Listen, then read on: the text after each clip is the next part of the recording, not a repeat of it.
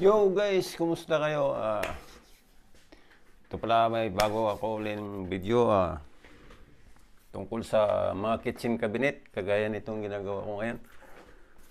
Ah, gaya pa rin ng dati. Sana magkaka- makakakuha kayo ng mga idea kung paano gumawa ng ano ng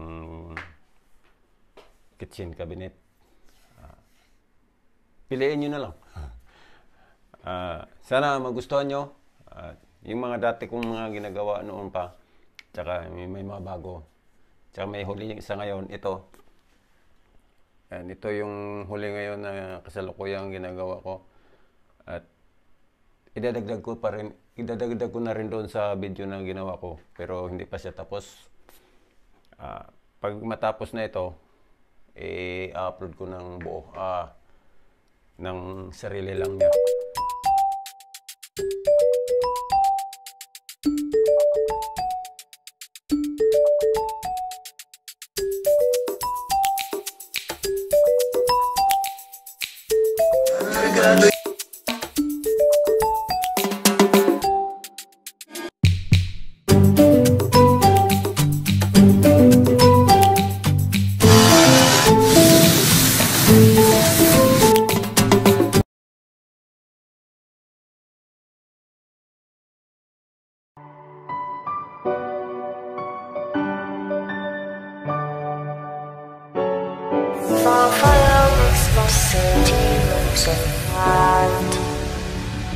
Close your eyes and just stay tight. We have to